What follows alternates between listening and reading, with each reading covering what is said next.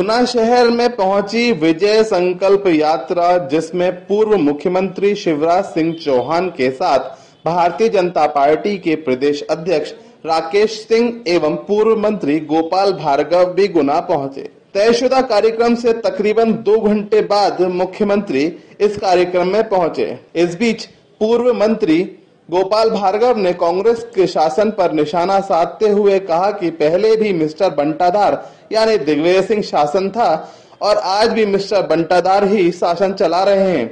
वहीं उन्होंने कहा कि एक छोटे से अंतराल के बाद भी प्रदेश में अराजकता और अपराध बढ़ने लगा है। वहीं इन सब का कारण उन्होंने कमरनाथ सरकार को कहा। इसके साथ ही गोपाल भार्गव ने कहा कि कांग्रेस ने युवाओं के लिए तीन तरह की नौकरियाँ खोल दी हैं। पहली तो मवेशी चराने की वहीं दूसरी बैंड बाजा बजाने की साथ ही तीसरी नौकरी उन्होंने सांप पकड़ने की बताई।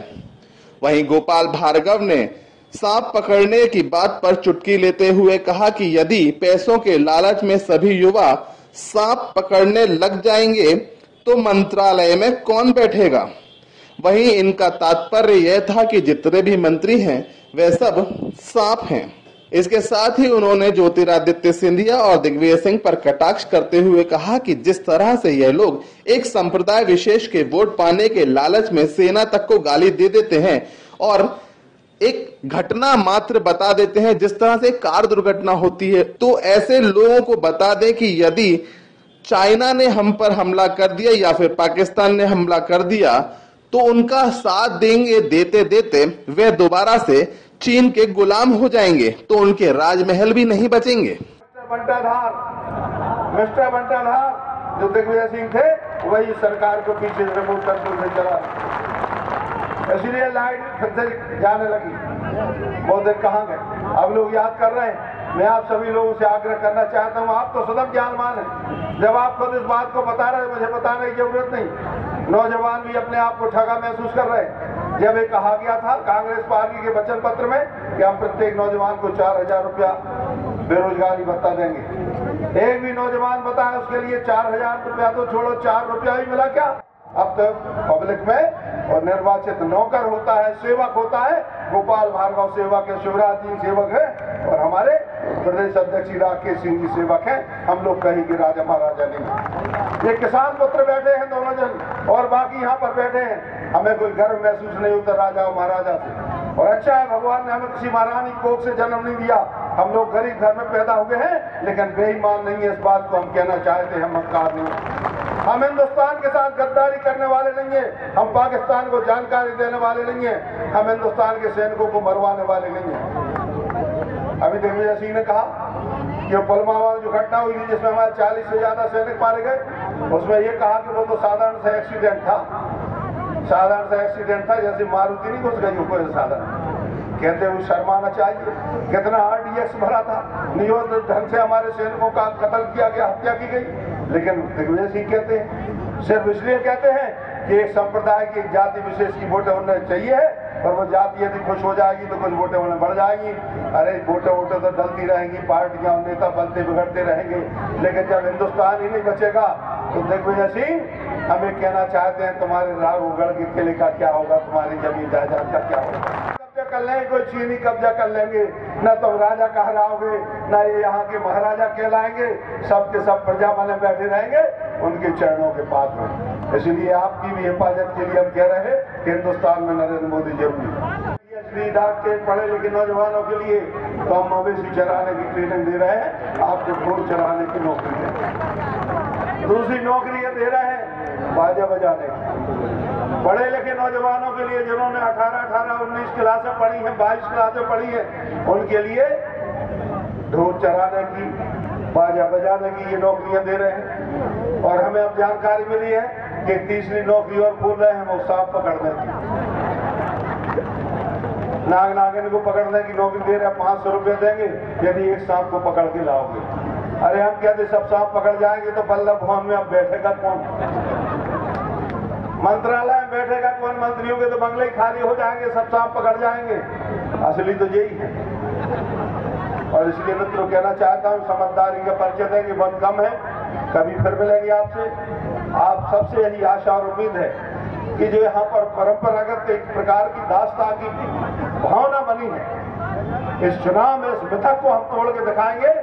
और हमारे वीर नौजवान किसान भाई माताएँ, बहनें जो भी बैठी हैं, आज इस बात का प्रण लेंगे, चाहे कोई राजा हो, चाहे कोई महाराजा हो, लोकतंत्र में सबसे बड़ी होती है तो प्रजा होती है इस बात का हम भारत माता की जय बोल के, और हम एक नारा भी लगाएँगे। इसी मंच पर से प्रदेश अध्यक्ष राकेश सिंह ने कहा कि कमलनाथ सरकार केवल एक ही काम कर रही है। वह सिर्फ़ भारतीय जनता पार्टी के कार्यकर्ताओं को झूठे मुकदमों में फंसा रही है, जिसका तात्पर्य है कि इससे वे कार्यकर्ता डर जाएँगे और घर बैठ जाएँगे, जिस पर होंकार भरते हुए भारतीय जनता पार्टी के प्रदेश अध्यक्ष ने कहा कि पार्टी के कार्यकर्ता उस समय भी नहीं डरे, जब मात्र 11 लोगों ने मिलकर भारतीय जनसंघ की स्थापना की थी।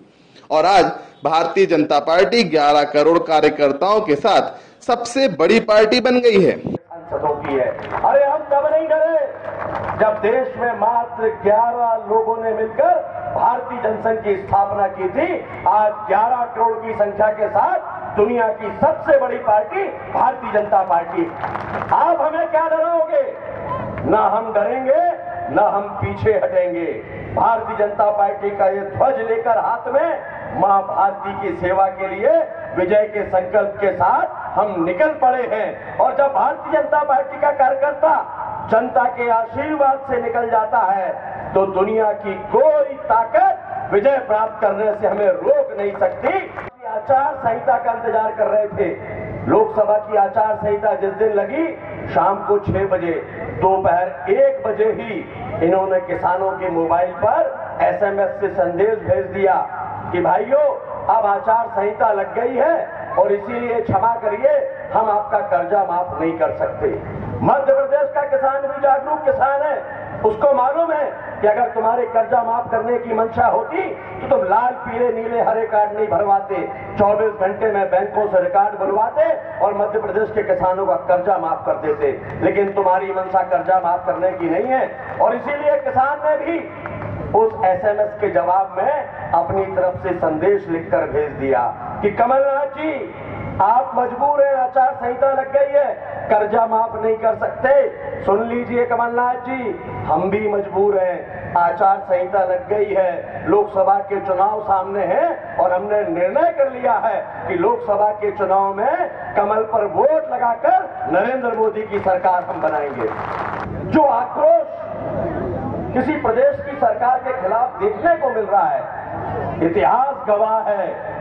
मुझे लगता है आज़ादी के बाद किसी सरकार का इतने कम समय में इतना विरोध नहीं हुआ होगा जितना मध्य प्रदेश में कमलनाथ की सरकार का होगा।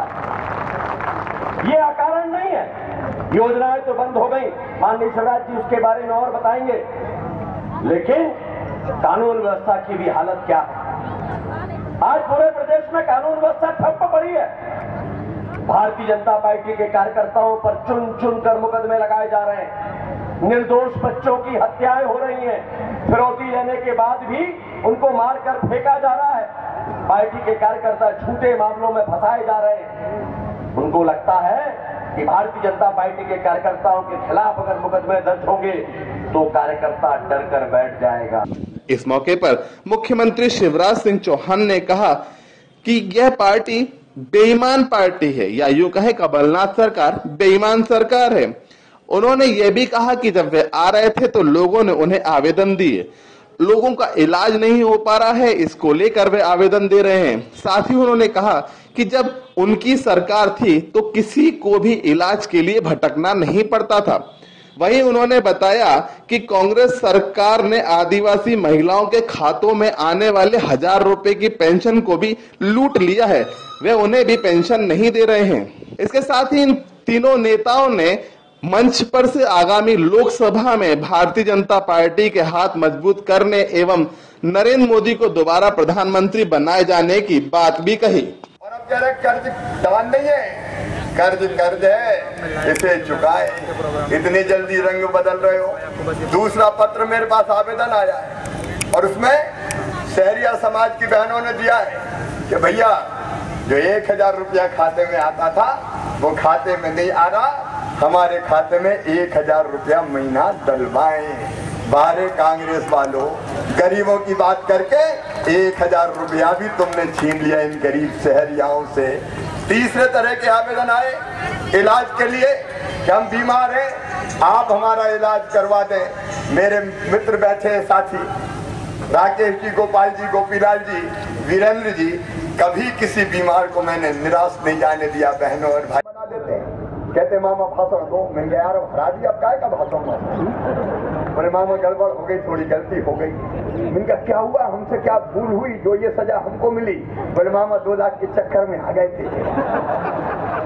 अब बोले, विधानसभा, लोकसभा के चुनाव में मैं ब्याज के निकाल देंगे। क्या हाल हो गए ढाई महीने में? मेरे प्रिय बहनों और भाइयों, ये बेईमान सरकार चारों तरफ़ हाहाकार मचा रही है। यही शिवपुरी आज बगल में लगा हुआ है। सेवपुर हो चंबल के बियाड़ो सतना हो। अरे रोज खबरें आती है सुनने में। कल फिर सतना में मासूम बालक का अपहरण करके और हत्या कर दी गई। इसके पहले दो बच्चे श्रेयांश प्रियांश, सरेआम भरे बाज़ार स्कूल बस से उठा लिए गए।